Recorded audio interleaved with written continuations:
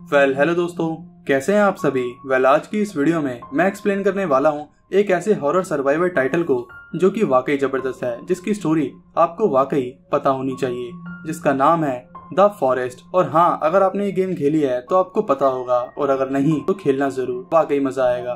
तो अगर आपको पसंद है इस तरह का कंटेंट तो चैनल को सब्सक्राइब करना ना भूलें। तो चलिए शुरू करते हैं।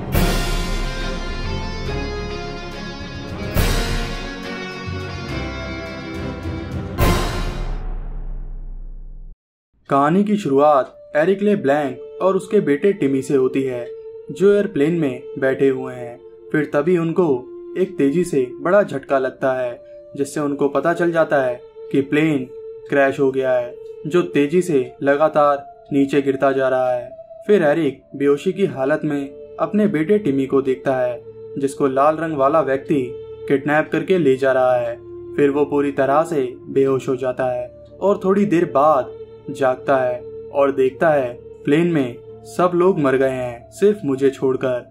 और प्लेन पेंसुला के फॉरेस्ट में क्रैश हुआ है, जिसके बाद एरिक प्लेन से निकलकर टिमी को ढूँढने जाता है, जहाँ आगे पानी में उसको एक बोट मिलती है, जहाँ कई सारी चीज़ें लेने के बाद वो दोबारा से फॉरेस्ट में जाता है, जहाँ एरिक को एक केव मिलती है। फिर वो रस्सी की मदद से उसके अंदर जाता है, और आगे उसको कई सारे नरभक्षी मिलते हैं, जिससे लड़ने के बाद वो केव से निकल जाता है। और आगे चलकर एरिक को पता चलता है कि इस जंगल में ऐसे वैसे नरभक्षी नहीं है, बल्कि म्यूटेंट नरभक्षी हैं, जिनका कब्जा है इस जंगल में।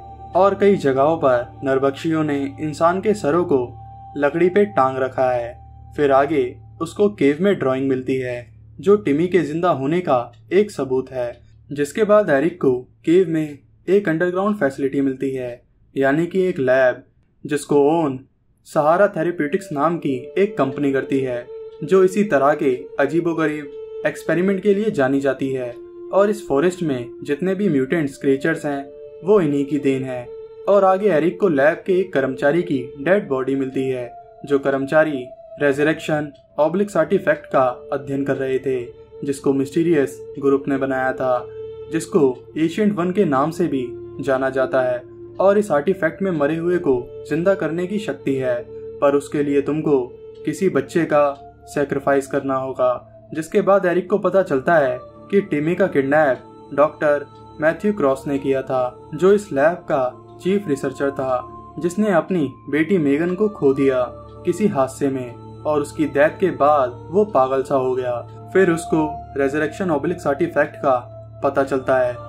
जिसके ज़रिए वो अपनी बेटी मेगन को एक बार फिर दोबारा ज़िंदा करना चाहता है और उसके लिए डॉक्टर मैथ्यू क्रॉस ने एरिक के बेटे टिमी को किडनैप किया, जिसके बाद वो उस आर्टिफैक्ट को खोलता है, जिसमें उसको टिमी की डेड बॉडी मिलती है, जिसको उठा के वो एक मशीन में रख देता है। और फिर एरिक टिमी को दोबारा ज़िंदा करने के लिए उस आर्टिफैक्ट का इस्तेमाल करता है, पर उससे पहले एरिक को मेगन को ढूंढना होगा, ताकि उसका सेक्रीफाइस दे सके। फिर वो उसे ढूंढता भी है और मेगन उसे एक जगह खेलते हुए मिलती है। फिर वो अचानक चिल्ला के गिर जाती है और एक मॉन्स्टर में बदल जाती है, जिसको हराने के बाद एरिक उसकी यानी कि मेगन की बॉडी उठा के उस मशीन में डाल देता है।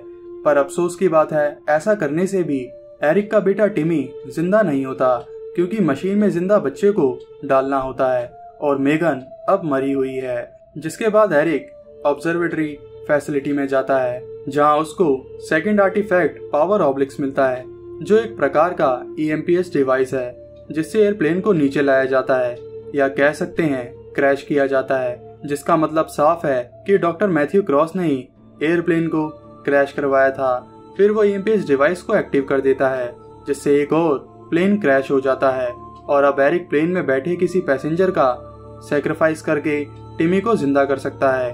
और इस घटना के एक साल बाद एरिक और टिमी दिखाई देते हैं, जो अपनी बुक को प्रमोट करने के लिए एक टॉक शो पर आए हैं, जिस बुक में एरिक ने पेंसुला फॉरेस्ट के अनुभव का वर्णन किया है और शो के दौरान टिमी अचानक से गिर जाता है और बड़े अजीब तरीके से हिलना शुरू कर देता है। फिर एरिक उसे जल्दी से शांत करता है और टिमी सही हो जाता है। फिर कई साल बाद टिमी दिखाई देता है, जो नहा रहा है और बुरुश करता है। और मिरर में देखता है कि वो अब बड़ा हो गया है, जो अपने अपार्टमेंट में है और साइड टू नामक आइलैंड की जाँच कर रहा है। और फिर अचानक से टिमी की हालत दोबारा से खराब हो जाती है, जैसा कि उस दिन हुई थी, जिसके साथ ही ये एंडिंग यहीं खत्म हो जाती है, जो कि इस गेम की गुड एंडिंग थी। तो चलिए, इस गेम की बैड एंडिंग की भी बात कर लेते हैं। इस एंडिंग की शुरुआत भी वहीं से होती है, जब Eric second artifact power obelisks वाले रूम में जाता है तो वो इसे एक्टिव नहीं करता, बल्कि इस मशीन को शट डाउन कर देता है, जिससे वो टिमी के लिए किसी प्लेन को क्रैश नहीं करता और खुशी खुशी अपने बेटे के चक्कर में हज़ारों लोगों को नहीं मारता, जिसके बाद एरिक यहाँ से बाहर आ जाता है और ऊपर प्लेन को देखता है। फिर वो अपने बेटे टिमी की फ़ोटो को जला देता है, जिसके साथ ही ये एंडिंग यहीं खत्म होती है। तो दोस्तों, कैसी लगी आपको द फॉरेस्ट गेम की स्टोरी और इन दोनों एंडिंग में से आपको कौन सी एंडिंग सबसे ज़्यादा अच्छी लगी? मुझे कमेंट सेक्शन में ज़रूर बताएँ।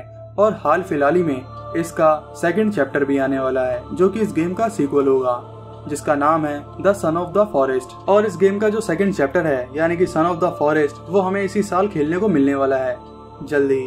और हाँ अगर आपको ये वीडियो जरा सी भी अच्छी लगी है तो इस वीडियो को लाइक शेयर कमेंट करना ना भूलें। और अगर आपके मतलब का कंटेंट हमारे चैनल पे मिलता है, यानी कि रेड कॉमर पर तो हमारी फैमिली में शामिल ज़रूर होइए। तो मिलते हैं आपसे अगली वीडियो में। जब तक के लिए बाय